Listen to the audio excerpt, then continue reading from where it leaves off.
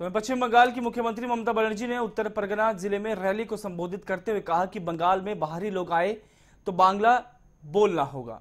दरअसल उन्होंने कहा कि हम जब दिल्ली जाते हैं तो हिंदी बोलते हैं और जब पंजाब जाते हैं तो हमें पंजाबी बोलनी पड़ती है। जिसके बाद उन्होंने कहा कि जब मैं तमिलनाडु जाती हूँ तो तमिल भाषा नहीं आती, लेकिन मुझे कुछ शब्द आते हैं तो मैं उन्हें बोल देती हूँ। इसी तरह अगर आप बंगाल में आते हैं तो आपको बंगाली बोलनी पड़ेगी और उन्होंने अपने बयान में डॉक्टरों को लेकर भी बात कही है, जहाँ उन्होंने कहा कि बाहरी लोगों ने ही डॉक्टरों के आंदोलन को भड़काया है। उन्होंने कहा कि मैंने खुद कुछ बाहरी लोगों को एसएसकेएम अस्पताल में नारे लगाते देखा था। बता दें कि पश्चिम बंगाल में डॉक्टरों पर हुए हमले के बाद विभिन्न राज्यों के डॉक्टर उनके समर्थन में उतर रहे हैं और हड़ताल का ऐलान कर रहे हैं।